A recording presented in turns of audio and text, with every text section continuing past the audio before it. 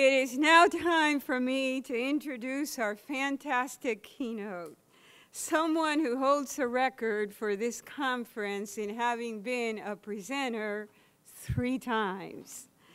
When Sam Calagione opened Dogfish Head in 1995, it was the smallest commercial brewery in America, making 10 gallons of beer at a time. And today, Dogfish Head is among the fastest growing breweries in the country. Under his leadership, it has grown into a 200 person company with a restaurant, a brewery, and a distillery in Rehoboth Beach, a beer-themed hotel on the canal in Lewes, and a production brewery in Milton, Delaware, selling beer in 31 states. When we began planning for this conference and chose the theme of innovation, we immediately thought of Sam. Guided by his motto of off-centered ales, for off-centered people, he has created a culture of innovation at his company that is truly unique and it's revered across the country. In addition to his many awards, Fast Company magazine named Sam one of the 100 most creative people in business in 2011. Please welcome our very own celebrity, Sam Calagione. Thank you very much. Good to see you. All right. You're up. Going to work. I don't know how to work this thing, so we're going to learn that together. Let me just check it once. Uh, okay, I think I do. I can learn this as I go. Um, so, so many uh, familiar faces out in this uh, crowd. Uh, so many inspiring entrepreneurs, business people, and community leaders, community builders out here. So, thank you guys for what you do uh, every day on behalf of me and my, I think we're about 230 coworkers now who almost all of us, aside from about 20 of our regional salespeople, almost all of us live and work uh, in coastal Delaware. So thank you for making our uh, community so, so vibrant uh, and exciting.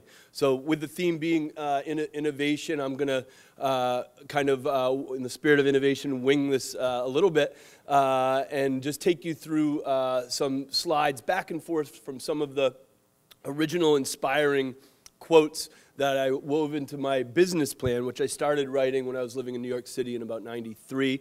I was uh, starting to finish it when I moved to uh, Providence, Rhode Island, where Mariah was, my wife Mariah, born and bred Milford, was finishing up at Brown, and I moved there with her while she was finishing. And then I actually completed the my plan on this uh, very campus. Uh, Bill Poff offered a class in 1994 about finishing a, a business plan, so I thought it'd be uh, appropriate uh, for me to share some of the, the, the inspiring quotes that, that uh, I, I, put into that plan 22-ish uh, years ago about, about the age of this conference itself, which is pretty cool.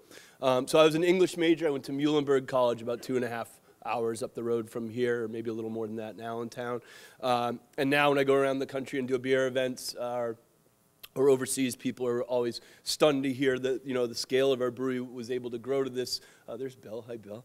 Uh, the, the, the scale of the brewery was was uh, we could get to the scale in, in, a relatively rural coastal area. It's not a mecca of brewing like Munich or Milwaukee, uh, and uh, and they're even more surprised that we've been able to grow this company with with. Uh, you know, me as an English major uh, at a, in a, such a uh, nuts and bolts business and production uh, world. Um, but I always say there's no better training to be a, a, a business person than an English major because there's no greater example of creative writing than a business plan. Uh, fictional writing, where you write a document a fictional document, and you hand it to a banker and say, I want you to help me make this fairy tale come true. Uh, and so many of those beautiful business plans uh, don't make it out of that, uh, that sort of fictional uh, uh, uh, phase. And it's really through the industry and innovation of passionate people, uh, both owners and employees, coworkers at company that have the vision to take a work of fiction and turn it into a work of nonfiction, as I've been lucky to do alongside my coworkers uh, over the last uh, 20 years. So on the on the first page of page of our my business plan was this quote from Emerson Whoso would be a man must be a nonconformist. He who would gather immortal palms must not be hindered by the name of goodness, but must explore if it be goodness. For nothing at last is sacred but the integrity of your own mind. And that, to me, is a rallying cry for any entrepreneur and speaks to this concept of innovation, which is there's already something out there defined as, as the right thing or the good thing in whatever industry your, your product or your service, you know, your service is going to exist in and so many people take it for granted that the biggest thing, the status quo, is not worth challenging. But if you can find an innovative way to go on your own path and your own exploration of goodness, and if you do, do a great job of defining it and differentiating it and bringing quality to it, uh, then there'll be a, a, group of people that find value in where you're going uh, and will follow you on that journey. That, of course, couldn't fit on a, on a six pack, so we shortened it to off centered ales for off centered people. Uh, but it really does mean uh, the same thing. And from the first day we opened Dogfish as a food and beer company in, in Rehoboth, uh, Delaware, our goal to, to innovate and, and, differentiate ourselves from the status quo of the beer world was all about trying to establish the first brewery in America that considered the entire global landscape of culinary ingredients to put into beer instead of just genuflecting to the traditional beer styles and beer ingredients, which are water, yeast, hops, and barley. That, you know, thousands of years ago, every region in the world made beers, you know, by what, and defined beer what was beautiful and grew under the ground they lived in and fermented in Africa, tree roots and honey in, in Turkey, uh, saffron and, and grapes. So it was only in the last 500 years that the Germans came up with this law called the Reinheitsgebot in the year 1516 that mandated beer could only be made with water, hops, and, and barley. Uh, and unfortunately, within a century, the rest of the world started bowing to this very narrow definition of beer. Uh, and so it was our goal to, to to kind of go backwards in time to all these different cultures and consider all different ingredients for beer. Our earliest, ingre- our earliest beers included chicory stout uh, that's been made with chicory and coffee that's been roasted by our friend Amy at Lewes Bake Shop for every batch of that beer for, for 22 years. Uh, beers like our Immort Ale, uh, made with maple syrup from my family farm in western Massachusetts, uh, and uh, beers like our Raison d'etre, made with, with raisins and beet sugars, were among, among our first. And what's really rewarding for me is our company's been able to grow and be more innovative today than we were when we were the smallest brew in the country without wavering from that mission. Like, uh, you know, for about three or four years there, we frankly almost went out of business because we wouldn't dumb down or discount our beers at a very competitive moment in our industry, the late 90s. Supply for craft beer um, was overclipped uh, or overclipped demand for craft beer. And a lot of breweries went out of business in the late 90s, a lot of craft breweries. And while the Rehoboth pub is uh, a small fraction in terms of revenue of Dogfish Head's current uh, entire business. It is the soul of our company because we were strong in that local community from the day we opened, thanks to the locals that supported us. And we had to take all the profits from our restaurant brewery in Rehoboth and bring them over to the production brewery that back then it was in Milton to keep from going bankrupt from about 1997 until 2000. But that we never discounted our beer or dumbed down our beer uh, we were able to, to, to figure out innovative ways to stay in business uh, when the, the choice was shutting our doors. So, for that reason, Rehoboth will always be a holy uh, part of our company uh, uh, to me. And like I said, we're more innovative today than we've ever been. Um, so looking at some, some, some newer innovations on the beer side of our company, this is a beer that comes out uh, um, uh, in about a month. You'll be able to get it here. Uh, it's a basically a giant liquid birthday cake to ourselves. We turned 20 years old this year, and the first ever homebrew I made when I was living in New York, New York City was a cherry pale ale uh, I made with cherries I bought at a bodega. To make this more cake-like, we use uh, literally tons of cherries, uh, tart cherries, and then hundreds of pounds of cocoa nibs. Uh, as you can see, an innovation is the recipe, but also changing expectations. This beer will retail for about $216 a, a case, uh, you know, uh, which is uh, what, 10 times more than a normal uh, beer. But it's already pre-sold out to all our distributors before it came off our bottling line uh, because we could tie so much uh, story about the innovation around it. It is more like a port wine than a beer in that it's 17% alcohol it ages as well as the finest Bordeaux. So we recommend people buy two bottles, drink one now, and drink one on our, our, our 40th anniversary uh, 20 years from now and put it in your cellar. Uh, we've done a series of events all around the country for the launch of this beer, birthday parties with beer-infused cupcakes. There's one I was at in uh, Denver, uh, Colorado. So the distributors know that we're out there, not just expecting them to sell it, but we as coworkers are out there on the road talking about this beer and, and, what differentiates it in terms of innovation to allow us to charge what we have to to make such an expensive uh, beer. And that spirit of innovation is alive in our breweries every, every day. And people say, well, Dogfish Head's relatively big now. They must have to turn like a giant you know, ocean liner at the scale that they are.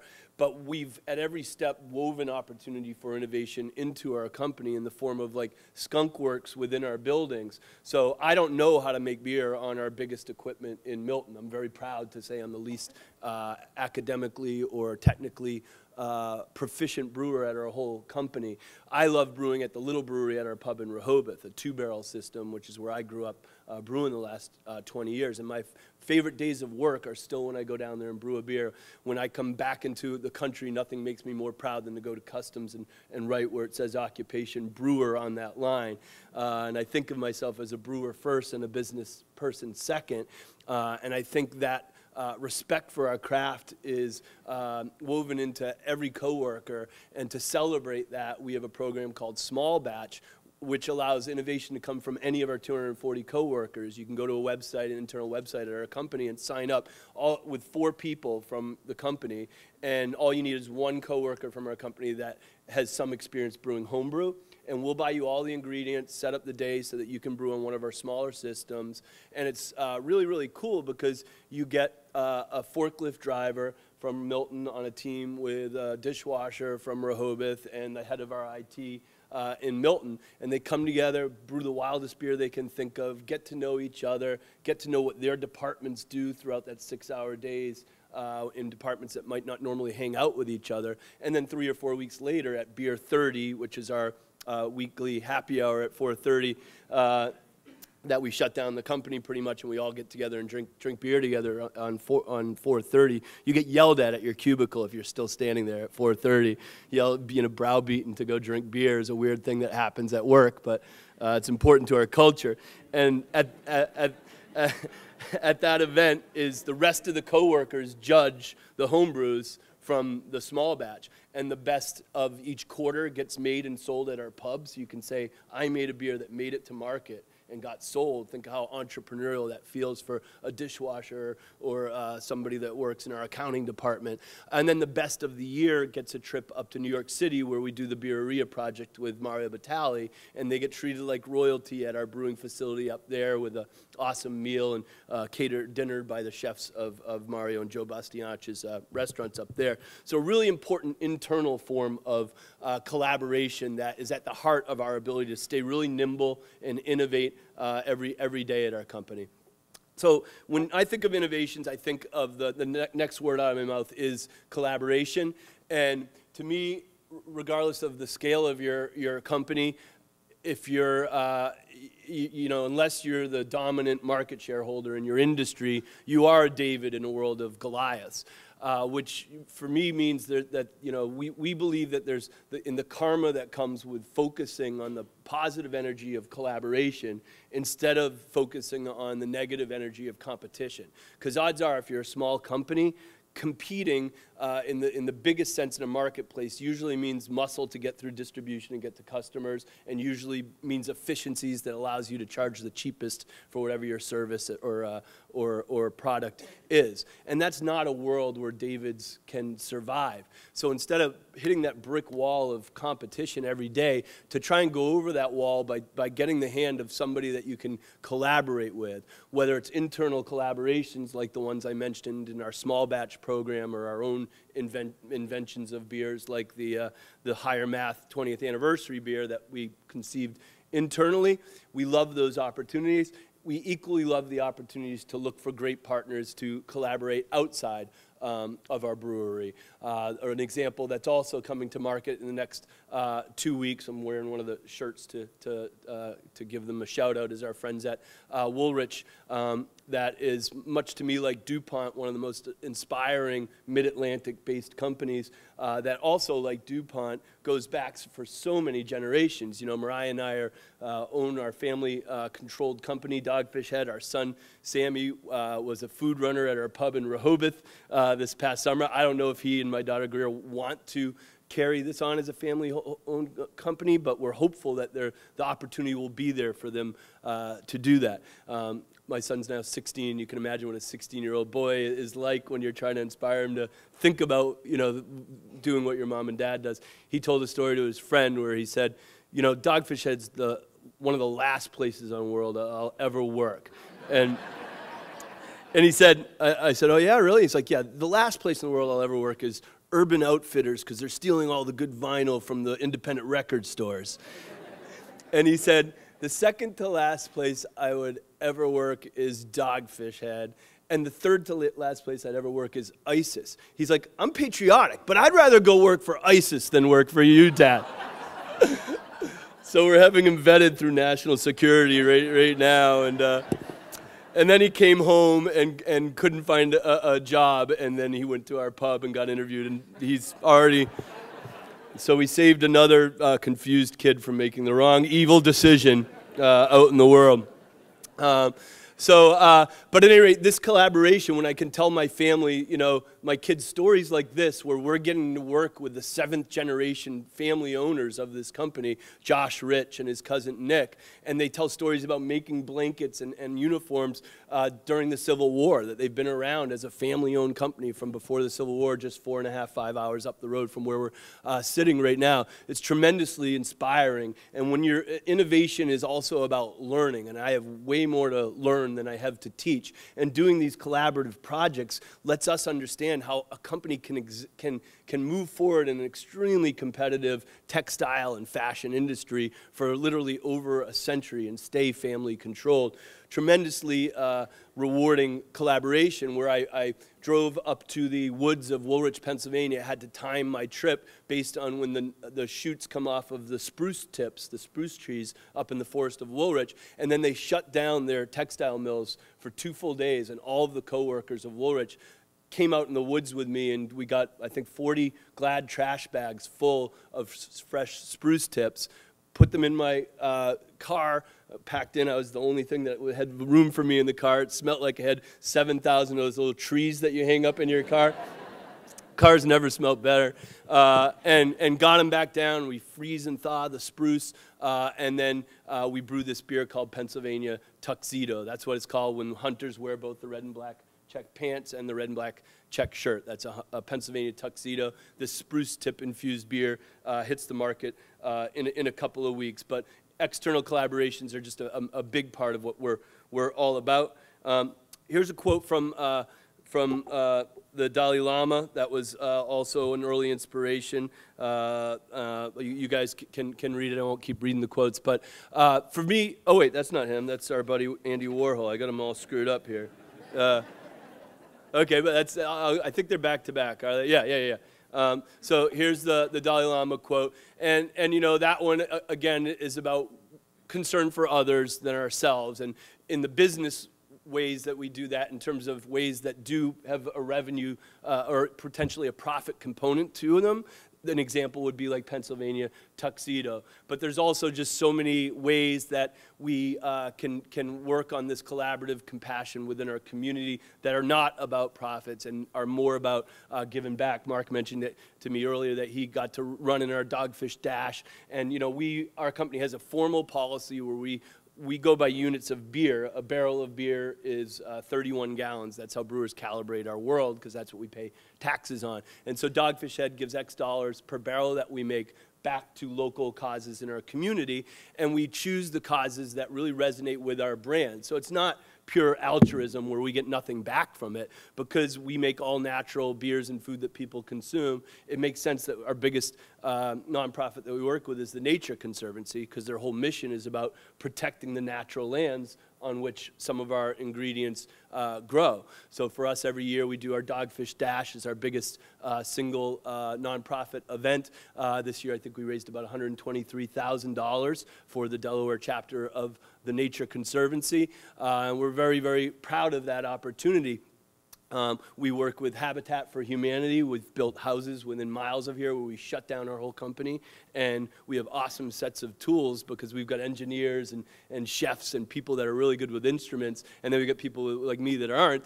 Uh, so they team idiots like me up with really smart people with tools, and we go and build houses. Uh, and again, sort of get to know each other. We team ourselves up with people that aren't in our departments uh, and give back to the community uh, that way as well. As locals, right outside my front door, I live in beautiful downtown uh, Lewes. We recently sponsored a couple teams uh, for the dragon boat races, and you know a- another wonderful nautical moment for us to give back to a, a local school that we uh, believe uh, strongly uh, in. So those moments to give back are so critical. And like I said, they're not altruistic. It feels good, but it comes back. There is an ROI on those opportunities. And the innovation there comes with picking the partners that actually make sense for your heart and for your brand when you uh, own a company or, or, do something in the community. One way that that came back to us recently is we were stunned uh, when we went to do uh, a renovation of our Rehoboth property and to put in a brand new uh, state-of-the-art uh, restaurant, brew, R&D brewery and distillery, working with the award-winning architects that designed our, our Milton uh, facility. And upon first vetting that with a, a, a, group of regulators in Rehoboth, we were told, ah, we don't want to see you do something in Rehoboth. In fact, we, would like to see you move out of the town after being there for 20 years and creating X amount of jobs. And we were a little bit stunned, uh, but it was amazing. Before Mariah or I could, you know, kind of get out of our, our awestruck moment, social media uh, kind of buzz started happening when that became public.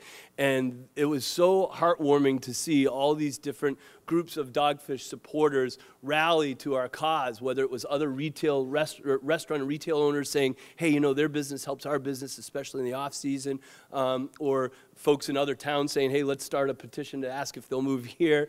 Um, uh, but we, we, as I said, Rehoboth's the soul of our company. There was no way we were going to give up that, that, that thing. We were ready to fight for it, and we didn't have to, and calmer minds prevailed. But the coolest message that came out of that was as Mariah flicked through, and she's the queen of our social media, she flicked through the comments that came through that moment. The minority of them talked about, yeah, I want them to stay there because I love their beer, or I love uh, their wood grilled pizza. The majority of the comments were things like, you know, I'm on the board of the Rehoboth Film Festival, and Dogfish Head's given money to that every year. Or, you know, I help to plant flowers in Lewes and keep that beautiful, and Dogfish Head does the donations, and they have it outside their place. So the majority of the comments had nothing to do with the products they make, that we make. They had to do with the ways that we give back uh, to the community. So it was a really challenging and, and, and, and um, you know, could, could have been a negative moment, couldn't have ended more positively uh, for us with that feedback we got. Um, and so then I will go to that, that, uh, that Warhol quote, uh, just because it kind of goes with what I'm saying is, you know, oftentimes businesses are kind of reflexively vilified and, and, people are like, oh, business is all they are is about is, is making money. And we really don't approach it that way at all. For us, that, that, that, that center of innovation is about approaching what we do as community building and art more than we approach it as a, our, a, way to make uh, profits. And if the, the, the love for the beer precedes the love for the business, and we make amazing products with unique stories around them, then the business will take care of itself. But they're both intertwined, and we should not feel bad to be business people, especially if we're taking the times to find those entities and groups that we can give our help to that also help our company uh, as well. Um, so then moving forward a little less time on these, and I'm sure Leanne will tell me when I'm getting a little tight on, on time. Um, you know, the, this is again sort of a, a, moment of talking about how do you weave your local geography. Um, into the creativity of your, your services and products. Uh, that one on the right was, uh, the date's wrong, it was actually from about three weeks ago. The cover of the Wall Street Journal did a, a story on uh, brewing with exotic ingredients, and I thought it was really telling, like the karma of focusing on terroir, your, your local grounds, that of all the beers, the 30 or 40 beers that Dogfish Head makes, they focused on two of them, one of which we make with lobster, if you can believe it or not, uh, from where I grew up in the summers, Dogfish Head, Maine. The, the, reason our company has this goofy name is like Hilton Head. Dogfish Head's actually a place off of Boothbay Harbor, Maine. And my best friend growing up is a lobsterman up there. And I have him send me hundreds of pounds of lobster once a year. And we boil this lobster in the boil kettle with the beer. Uh, and we make a beer with cocoa nibs and tons of lobsters called Choc Lobster. Uh, so that's one of the two beers that they, they wrote about. And the other was a beer we do called Beer for Breakfast. So our brewery, there's now hundreds of breakfast-themed stouts in America. We brewed the first one with the local coffee roasted in Lewes.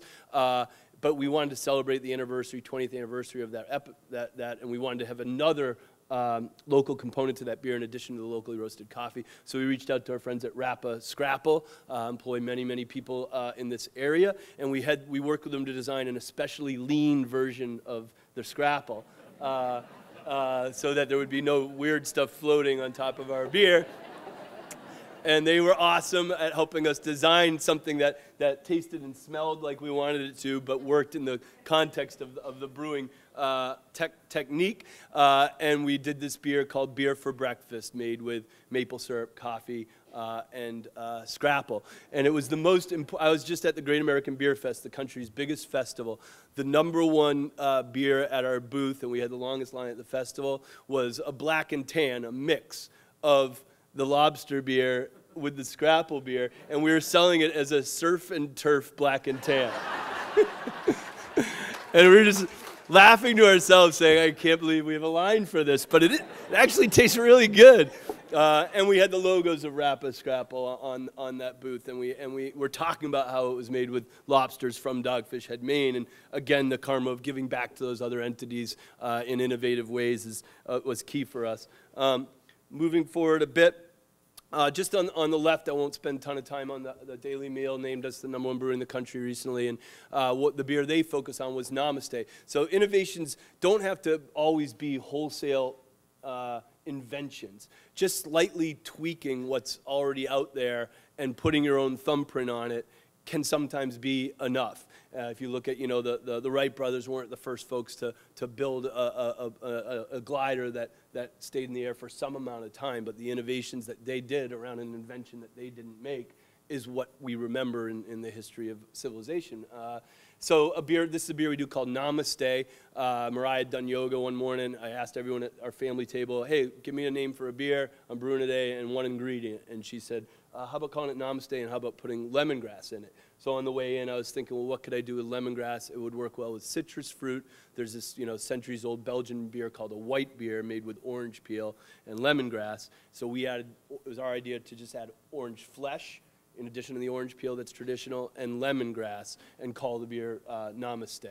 Um, and it's now our fastest growing beer, faster growing than our 60 minute or 90 because it's not as bitter and it's more approachable. So um, a tiny tweak of a style that existed for over a hundred years was the innovation in that case. Um, and then, you know, the, the, another way to consider innovation is, you know, how you present your brand and your communication can be innovation as well. It doesn't have to be the product or the service itself. It can also be the way and the, and the mediums in which you attract customers to your brand. And again, this is where Mariah is so strong. I'm sort of the analog face of our company. I do a lot of events. I'm here talking with you guys today. I'm doing a, a, an event in New York City uh, tonight. Um, but Mariah is somewhere on a plane doing a, a, post for social media for him, I'm sure. And we have the largest uh, online uh, um, community of any craft brewery in the country. And I think a part of that is because we're not always trying to sell something. You know, we're often celebrating something another brewery's doing or taking an article from some other you know, art forum and saying, hey, we think beer lovers might like this. So over 20 years of this honest human scale dialogue, instead of the traditional marketing monologue where giant companies scream at you from TV screens and billboards, 20 years of us honing this honest you know, human scale dialogue has paid off greatly because our voice, our brand voice, is very trusted because they know that we're not always trying to sell them on something. We're trying to communicate with them, learn from them, and respectfully, you know, admire it that if and when they like the beers, they'll tell people that we're, we're great. We're not going to tell people we're great. We just want to make sure they know what we're making and know what excites us uh, as, as a brand. Um, a few other things, and I don't know how I'm doing for time, but I'll move quickly. Uh, today I am, I'm going up to New York. We have a new show launching today to talking about innovation. It's called That's Odd, Let's Drink It. uh, and the first episode I shot uh, with my good friend Mario Batali. He's co-hosting this event with me at Birreria tonight. Uh, he's part of this great uh, nonprofit thing called Waste Ed, education for chefs about how much food is wasted, where they go around all their affiliated restaurants and find food that's a little past its prime to sell, but then they repurpose it into stocks and sauces so it doesn't go bad. And when I read about that, I'm like, hmm, brewers should get into the act as well. I mean, we feed thousands of head of cattle on the Delmarva uh, Peninsula uh, through the hundreds of tons of spent grain that leave our brewery every day as cow feed. So we're really sensitive uh, to, uh, to that recycling uh, process. Um, so with that show, he found some old uh, tomatoes that were overly ripe and some old citrus fruit. I'm like, what are we going to make with tomatoes and citrus fruit? And then I remembered, not because I spent time in prison, but I read a lot about prison, that the universal prison wine called Pruno is usually made with sugar-rich ketchup from tomatoes and brown sugars and citrus fruit. It's usually made in the back of the toilet, but I skipped that part. Uh, and we brewed a batch of pruno from these ingredients that were about to go bad through Mario's restaurants using wheat, uh, tomatoes, uh, and citrus uh, fruit bread and some sugars uh, as well. So it's a show that begins airing today and will air every week. And it's a way for us to innovate in beer, but learn from different collaborators in every show. So next week, I'm, I'm, uh, there's an episode with me and Chris Bosh from the Miami Heat, uh, who's a huge home brewer. Uh, and he, he's from Texas, loves mesquite barbecue. We brewed a, a beer with smoky barbecue. Uh, uh, barley that was smoked over bar, uh, mesquite wood for that one. Um, you know, and, and, every week's a little different one. I'll let you check it out if you want to. But the other, the, there's the innovation of learning from the collaborators, but also there's an opportunity for Dogfish Head to interact with these communities that other breweries don't or can't touch. So suddenly, you know, Chris Bosh is, is talking to Sports Illustrated about our, our brewery or this show, we're reaching an, a, an audience that the other 4,000 breweries in America are not. Or the rapper Mac Miller, we did an episode with. Not a lot of breweries reaching out to the hip hop world to have those conversations, but we're going to be, you know, in, through that episode doing it. So it's a way of innovative to find new audiences, not just to innovate to make the beers uh, that are on the shows. Um, just moving quickly, just showing off some of the uh, neat packaging that we are designing internally so that even the point of purchase for our beer isn't just a generic sign that says here's the aisle that has dogfish beer. But you know analog beers for the digital age is one of our longtime rallying cries. So we're the official sponsor of record store day which promotes all the independent uh, record stores around the country. Um, we give out these analog uh, record players that we've branded as part of that our pumpkin ale, born right down the road at, at uh, Pumpkin Chunkin 21 years ago as a homebrew, is a big uh, fall promotion for us. We do a lot of IPAs, so IPAs for the holidays is a big uh, promotion for us as well. Um, so uh, moving more more quickly, I don't know, what do I have left? How many minutes? Yeah, I'm okay? All right, I'll go a little more quickly. I'll go a little more quickly. Um, uh, so this one, you know, is a, is a, a rallying cry from, from Moby Dick and it just shows uh, part of being innovative is being curious and looking outside of your industry for inspiration. You know, I get all the beer, you know, we advertise in some beer publications. We never bring them into our house. I, I advertise them because they're friends of mine that publish them. But I don't really want beer publications in my house because I don't want to read what my friends are, are doing. I'm psyched for them if they're successful and found something, but I don't want to be influenced by what's already out there in my industry. So in our house, we get lots of arts, culinary, wine publications and, and books that we buy and music publications, which is another big passion of mine. And I try to find ways uh, to look at other industries that I admire and maybe relate to our industry to get creative inspiration instead of looking what's already uh, happening. Uh, in my own uh, industry. And that's led us to do a lot of focus outside of beer. And it might seem uh, counterintuitive that, you know, beer is the, the lifeblood of our company, but we've purposely started all these complementary companies. We started 20 years ago as food and beer. Um, you know, uh, another part of successful innovation is simple messages and, uh, you know, doing something really unique and exciting, but distilling it down to something simple and digestible so that as, as innovative as it is, the, the person that you want to convince to try it needs to be able to translate it. Uh, and sometimes when you innovate, that's a challenge that we've had is we've gotten too clunky and wordy and technical, and we really have to keep the messages on why we're innovative simple and digestible uh, to people. And you know, the, I've had the same neon signs in the front of our pub for 20 years. Uh, you know, wood grilled food and homemade beer. That's been the basis of our company. Uh, a lot of innovation within those two simple signs, but they've been uh, they, have been the you know the same thing for that long. 13 years ago, we opened the second craft distillery uh, in the country. We've now expanded that. Uh, which we start launching around the state uh, in a few weeks uh, with very innovative gins and vodkas distilled and brewed from scratch in our own facility. A lot of spirits that you hear about, um, you know, Tito's vodka or whatever it is, they talk about the taste and the flavor and it's handcrafted, but they actually buy uh, GNS, grain neutral spirits, and drums and don't actually make the stuff from scratch themselves. Through our tours at our Milton facility, we're going to show that we're innovating from the raw products out of the grain, out of the ground, and making our spirits 100% from scratch. Um, here's the facades of the new facilities that we'll have uh, in downtown Rehoboth and sort of our general schedule uh, media in the room, please don't hold me to the, these schedules. They are a restaurant project, and uh, after all, they, uh, they, they never happen on time.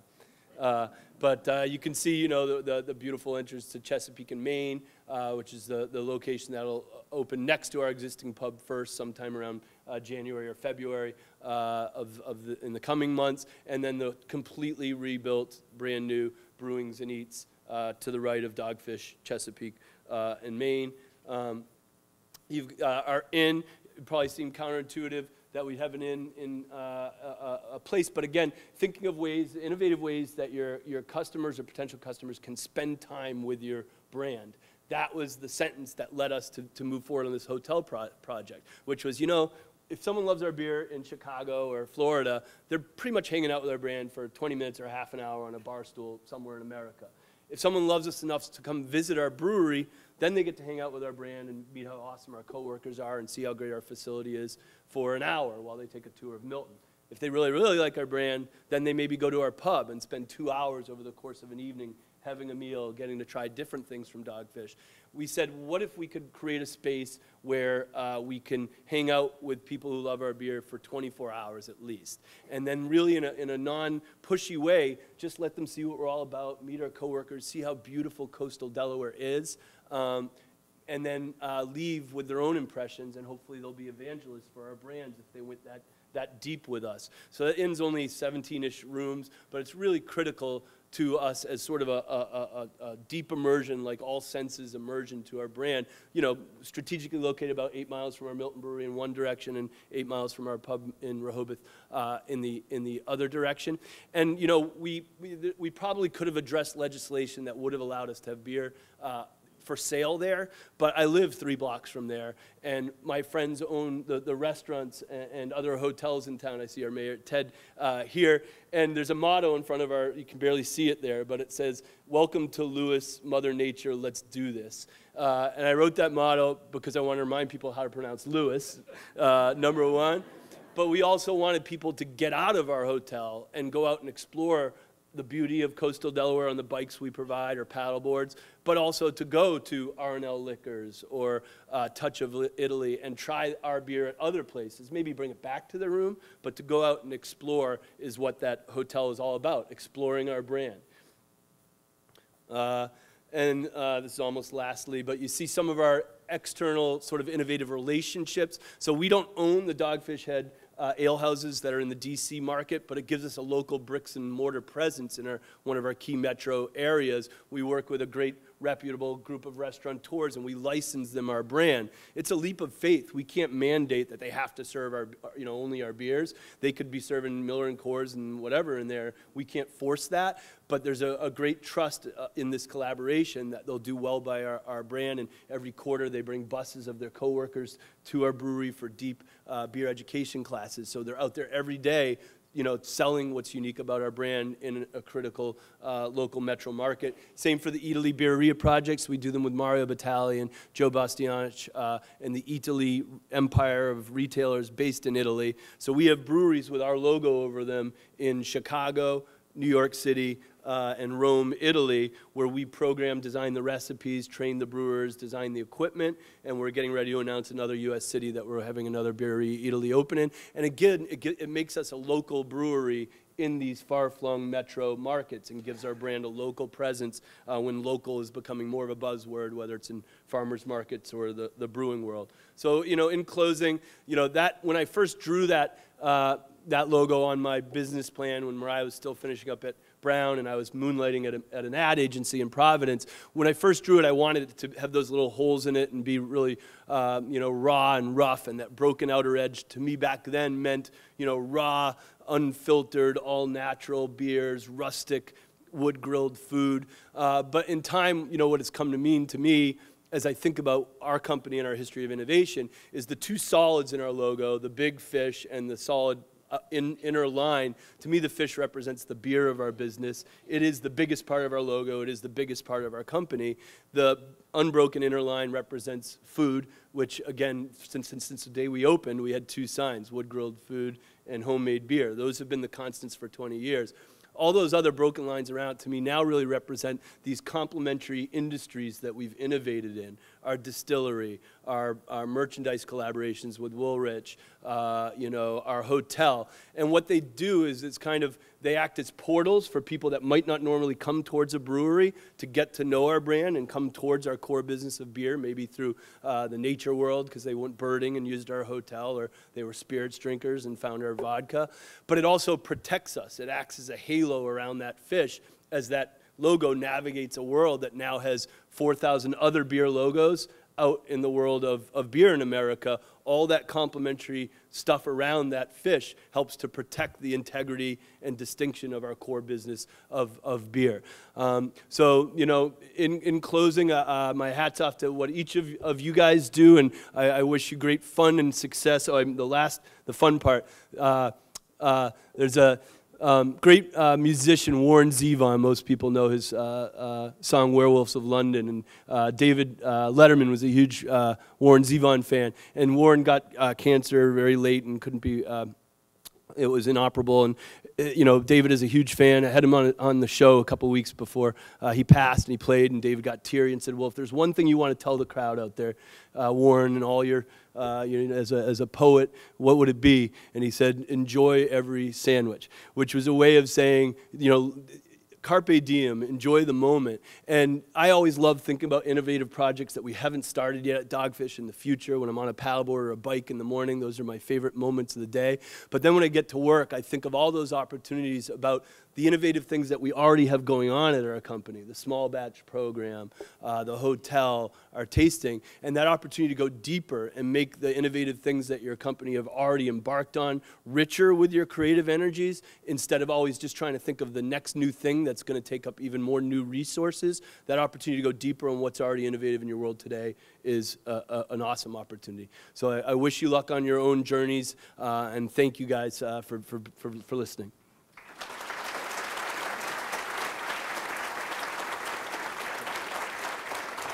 Thank you, guys. Thank you, guys.